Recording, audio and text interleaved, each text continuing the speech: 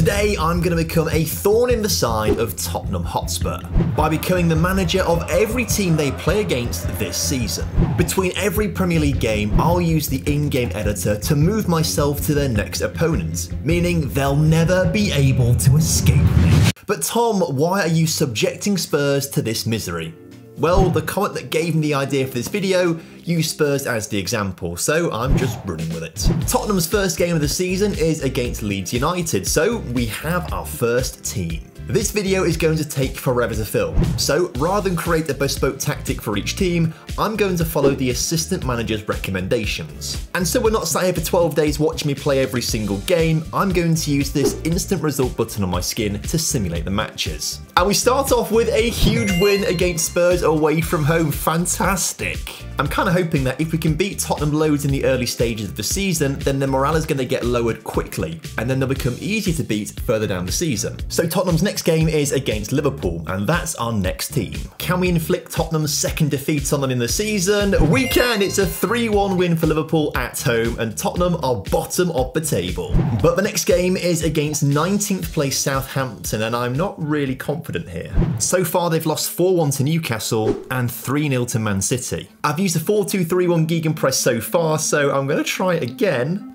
I don't think we're going to do it, if I'm honest with you. I, I really don't think we're going to have a, a, hope in hell at beating them, And as you can see. We've lost it 3-0. I guess now we've lost with Southampton, the aim changes from beating Tottenham in every single game to just trying to minimise their total points for the season. You know what? I, I reckon we can get them relegated. But it moves Tottenham up to 15th place in the table, but luckily for us, our next fixture is the North London Derby. I mean, London is red, right? And football Football Manager agrees. 4-1, what a fantastic result, which puts Arsenal on top of the table and Tottenham on the edge of the relegation zone. And next up for Spurs is another London rival in West Ham. Bowen, Scamacca and Paqueta have all got to get on the score sheet here, surely. Well, I tell you what, Bowen and Paqueta are absolute frauds. At least Tottenham didn't win and we kept them down in 17th place. But our next two games are tough 19th place Everton and 16th place Nottingham Forest. We've got Calvert Lewin, Townsend, Ben Godfrey, and Yerry Mina all injured here. Uh, and I might try a fire at that formation here because Everton aren't very good. You know what? We may have drawn the game, but that actually works. 13 shots to 5, a much higher XG as well, loads more possession. Another day, we'd have won that.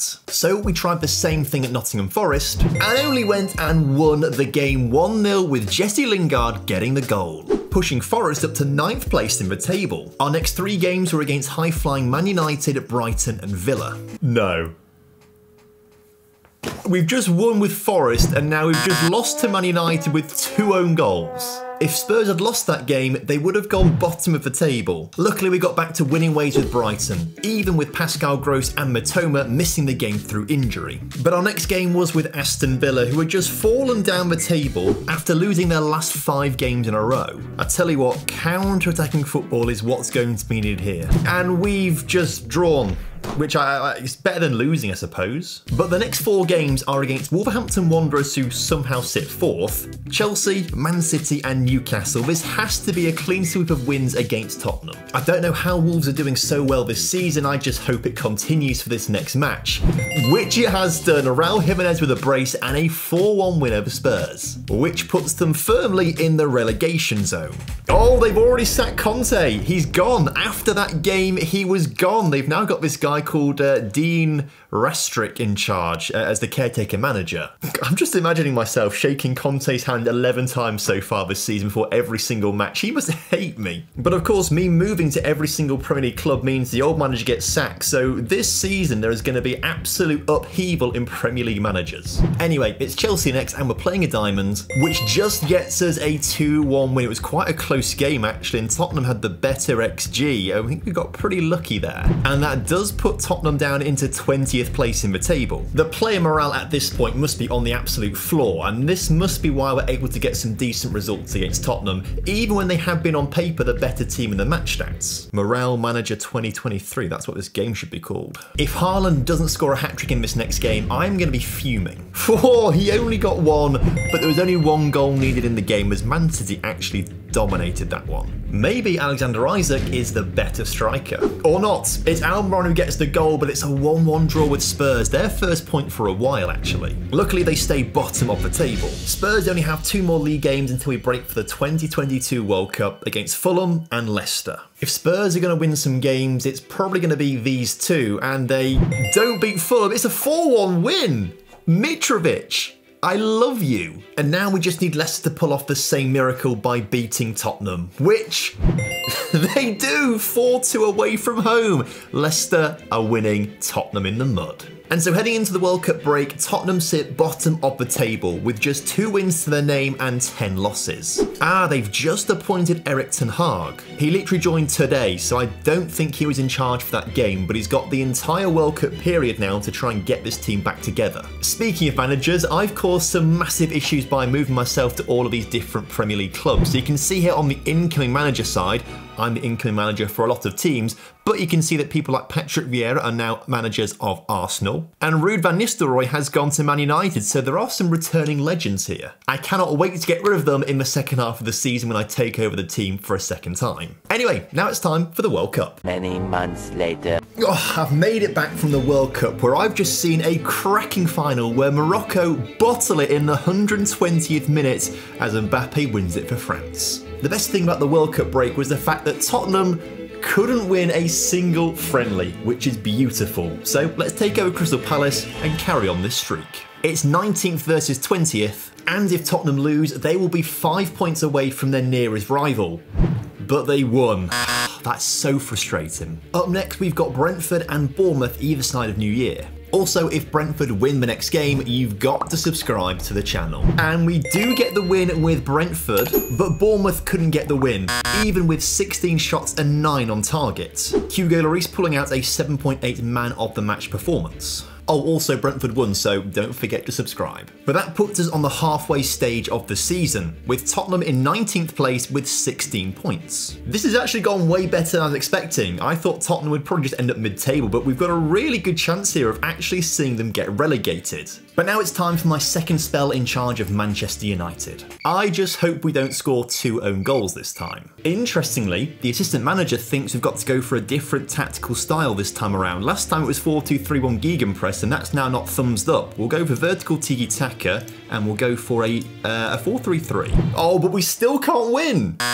Tottenham have done the double over Man United this season. That's their third win since the World Cup break and one more point could take them out of the relegation zone. Hopefully Nottingham Forest can pull off another miracle. Never in doubt, Jesse Lingard. He's got four goals against Spurs this season now. Next up, we're managing Aston Villa, and last time we saw them, they were 20th in the table. They're now somehow in the European places. I like to think I turned that around for them when I was their manager last time. And now they're moving closer to the Champions League places following a big 2-1 win. Next up, we're back-to-back -back with the Bees, Brighton and Bournemouth. We won the game earlier this season with Brighton, and now we've done the double against Spurs. Fantastic work. But we lost the game earlier with Bournemouth this season, and now Tottenham have done the double. It would have been a really close game had Bournemouth been able to get some shots on target. The good news is, though, Spurs are still in the relegation zone. With Leeds up next, who gave us that big 4-1 win on the opening day of the season, I'm feeling pretty confident. Oh, but they can't repeat it this time around. Actually, a really good game from Tottenham. They dominated Leeds. Luckily, teams around Tottenham also picked up points, so they're still in the relegation zone, and with Brentford up next, who are in poor form, and Crystal Palace afterwards, who sit bottom of the table, this could be the chance that Tottenham need to get a good run of form going and actually start to play well. If we don't win either of these games, I'm going to get worried. But I heard that Ivan Toney's put a massive bet on this game for Brentford to win. Uh, oh.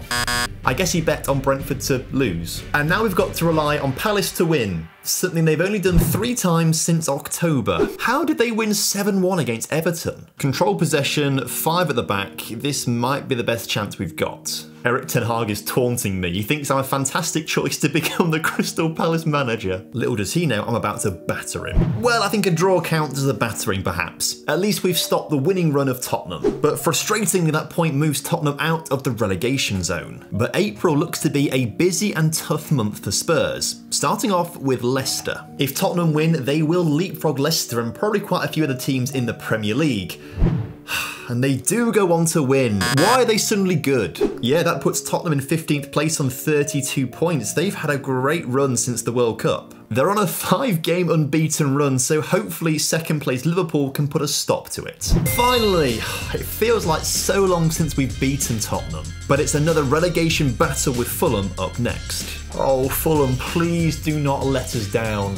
Oh, you've let us down. No, no, no, no. It moves Spurs up to 14th place in the table on 35 points. I think at this stage, 35 points might just be enough to not get relegated, but it is a pretty high points total in the Premier League this season, so if we just beat them, then there's a chance still. But with the next three games being Man City, Wolves, and Chelsea, all of whom are in the top six, anything is possible. So Haaland didn't score a hat trick earlier on this season, he better score one now. Or nothing at all. Look at the match stats. I'm sorry, but how? That's just. I can't believe that. Perhaps the game's getting its own back on us just a little bit. We may have FM Spurs quite a lot at the start of the season, hence why they were in the relegation zone at the World Cup, but they're getting their own back and FMing us. Oh, I've, I've, just accidentally continued past the Wolves game. Um, I, oh, no. I'll be honest, I'm surprised I've not done it before this. Oh, but you can see down here, look. Spurs won 3 1 anyway. I mean, there's still a small chance we can get them relegated. We'll just have to win every single game for the rest of the season against them. Chelsea, Newcastle, and Arsenal are the next three, and they've got to be wins. Although Tottenham's form has been so good, it wouldn't surprise me for them to win every single game for the rest of the season now. But I think this shows how important morale is because as soon as Tottenham picked up some wins and boosted their morale, they've just looked unstoppable but not unstoppable for Chelsea. They get the 3 1 win and finally Tottenham lose. It's Newcastle next. I am manifesting a win to the football manager gods. And we get it, Isak with a brace. But frustratingly, the teams below Tottenham aren't doing anything, and it's looking more unlikely that they're going to finish in the relegation zone. But it's the North London derby next, and Arsenal are top of the league. We proved earlier that North London is red. And it's still red, as Arsenal win 1 0 in a dominant performance on the stats, but the match scoreline was pretty tight. And so, with three games remaining against Southampton, Everton, and West Ham, there really is a chance that Tottenham could go down if they lose every game and the teams below them finally pull their act together. I'm putting everything into the Southampton Gegenpress right now. Come on, that's what I'm talking about. We get the win. But other results haven't really helped us out with Tottenham getting relegated, so we are going to need a miracle if it's going to happen. This time we do have Calvert-Lewin available to us. He's so good in Football Manager. I need him to score a hat-trick right now. It's not what we needed, and it means that Tottenham will finish at the very lowest 14th this season. At the highest, it could be 12th. We need West Ham to perform. So for one final time this season, let's press that simulate match button and see what we get. We finish with a West Ham win. Scamacca gets the goal and that confirms it. Tottenham finished 14th in the Premier League, only four points safe of the relegation zone. A lot of fine margins this season. If Man United didn't score two own goals and Man City didn't get FM'd by Spurs, they would have been relegated. I actually think we've done a pretty good job. Spurs finishing 14th is way lower than they should do, so I think mission accomplished. But how well would Spurs do and the rest of the Premier League if we moved them to some of Europe's lowest ranked leagues in the world? Well, that video is on screen for you right now to watch, and it was a banger.